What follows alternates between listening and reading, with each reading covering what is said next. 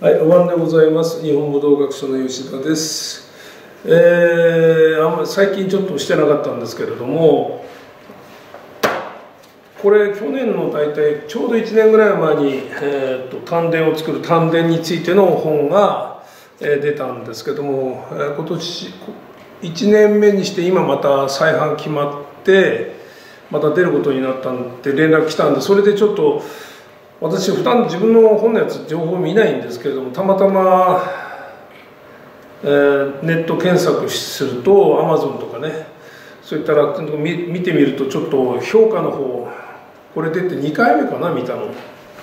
そしたらあのちょっともうちょっと丹田を作る方法の解説が欲しかったっていう意見がちょっとポチラポチラ見えたんですよね。それであのそういった解説というかねそれ結構重心を下げるとかそういった姿勢を作るとかと共通している面は多いんですけれどもあくまでも切り口は丹田を作る方法の一つっていうかね丹田はどうしたら作るのかって。まあ各種さまざまメンタルの精神的な面からもあるし肉体的な面からもいろいろあるとは思うんですけれども、えーこれは今回はね腹を作るっつってねあの腹っつってもあの普通のお腹の腹っていうんじゃなくてどっちかというと月辺に土っていうね腹を作るっていう風のイメージの方が強いんでしょうけども丹田となるとね。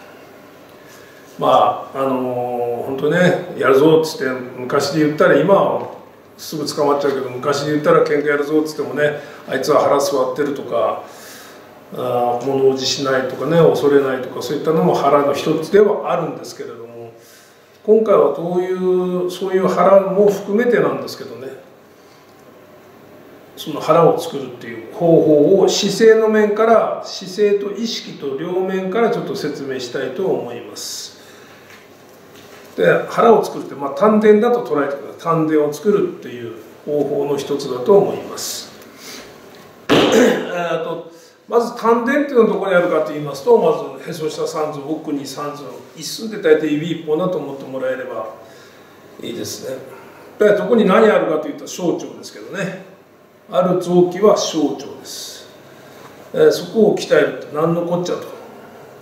何関係あるんだって言っていろんな疑問もあるんでしょうけど昔からね上丹田はここね眉間の中丹田は心臓のとこ下丹田が一族に言う一般的に言われる丹田の位置ですね。へそ下三寸です。でそこにそこを意識すると何がいいのかっていうのは私の理屈では理論ではあくまでも腹圧をある程度かけていくということです。前の動画でも何度も説明してますけどここに樽を作るってことですね。ここで仙骨があって丹田はあここのこういうふうな意識ではこういうこういうふうな位置になってるんですけども実際は向かってるよと。そしてこことここ同等の圧をかけると。するとここに充実感が生まれてくるんです。ですからまずこの腰反りで腰反りですとかこうね反ってたりなんかするとそれでは丹田は絶対できませんからあくまでも同等の圧をかけるためにはここをちょっと仙骨グッと締めてうんこ我慢の姿勢でここ膨らますここ膨らますを同等にやると。すると、え丹田っていうそこここの充実感です要はね。丹田イコール充実感。それがあの全体的な充実感なのかあとはそれを意識ぐっと小さくしてて小さいものにするのかという違いはあると思いますけれども我々一般的には樽のような腹を作るというのでまあここにバーンと充実感を作る。ここが満たされてるっていうのかな。その方法としてあの逆式呼吸を上げてます。背中を意識するってことはまず大切ですね。日本人はどうしても屈筋民族なのでこの前面を意識してしまう。それはやめて背中を意識する。なんで背中を意識するのかというとうちでは二八そばじゃないけど二八の論理っつって正面は筋肉の厚さ大体2割ですね。して背中は大体8割78割は背中の方が厚いですから。厚い方に頼るのが当たり前。そしてへそから下が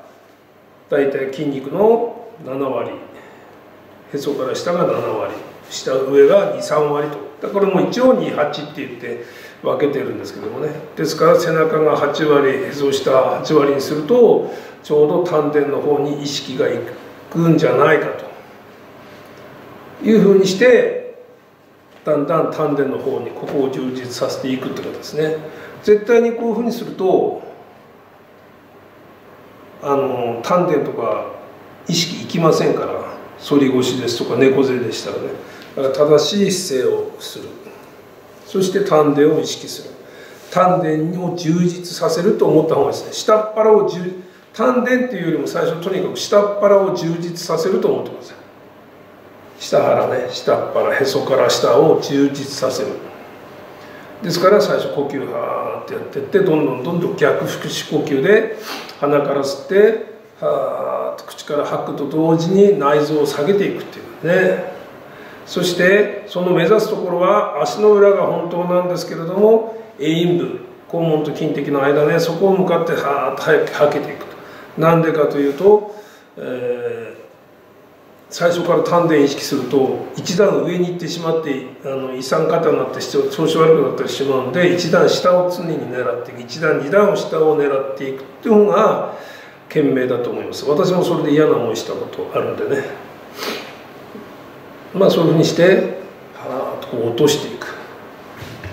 丹田を丹田っていうか下を意識を落としていく。今もう一回言いますと背中に意識をやる。へそ下に意識をやる。そしてこうずっとこう呼吸を下げていく。鼻から吸って呼吸をはーっと足の裏を狙うんですけれどもとりあえずはいいね。そしてそこにずっといったら内臓が落ちていく感じが分かってきます。内臓落としていいことはないんだけれどもね意識としてそういうふうにスーッと落としていく。そしてここがだんだんだんだん充実してきますから。そしていつもここが張るようになってくる。最初はちょっと苦しい面も出てくるとは思いますがそれでこう物持ってこうと振り回したりね。こういろんな動きをここ充実させてここを下っ腹を中心にこう動くようにしています。だから肩を叩くんでも肩でこう叩いたりこう何かをやるんでなくてここを中心に同時にこう動くようなすると手先あの小手先のっていう言葉がこうよく使われますけどそういうことはなくなってここ土台。ここを中心に足でも手でも動くようになる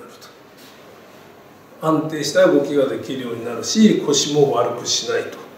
いうことですね、えー、その方法でねたまたま私あのそこに水をこう外に置くと今冬なんで凍ってしまうんでね、えー、ちょっと持ちててこれね私も50流やってたんですけど昔ね。あの壺とかでねこうやってるのと同じなんですけどこういうペットボトルねこれこういうのありますから。これちょっとウイスキー私の飲んだウイスキーの。これ4リッター、ね、砂入れてもいいし水入れてもいいし何でもいいんですけどこれをやってねいろんな方やってみたらこれこれでいいや。ここでね。ここでねこういうふうにして3つこのカーッとこれだけ。これこれでストップしてねストップした状態でこことここが充実してるようにここはへそ周りではこう腹周りがバーンとして意識がこうねここに負担かかってとここにももちろん負担かかるんだけどね8キロ持ってるからそのまま黙ってるんでね。ここには来るんだけどもどこで支えてるのかなって意識した時にこの負荷かけた時にここ腰回り。でさっきもこの下っ腹っていうかねこの腰回りで支えてるんだっていうここが充実その何かをこう重たいものを持ってここが充実してるなっていう意識がちゃんとできればああ少しこっち側の方に意識来てるなっていうのを一つの目安として分かるんじゃないかと思います。それまではね自分のこのこれ4キロだけども片方2キロとかにして片方2キロとかね1キロとか、まあ、電話帳でも本でも何でもいいです。その場でここでグッと。こう支えてもいいし。どこに負担かかってるのかっていうのを一つの目安にするんでね。意識はさ内臓とか意識を下げる。そしてどこに負担かかってるかは今のように負荷をかけて確認する。それでどんどんどんどん自分の意識を持っていくとそのうち下に来れば来るほど上は脱力少しずつできてきますからまず丹田の作り方の一つとして、え今日は、えー、紹介しました。また何かね、えー、別の何かいいことがあれば随時お知らせしたいと思います。まあ、丹田についてね私もそんなに詳しいわけではないですけども実感として今まで続けてやってきたっていうことだけなんでね。何か質問あればまたコメント欄の方によろしくお願いします。あと登録の方もよろしくお願いします。今日はこれで失礼します。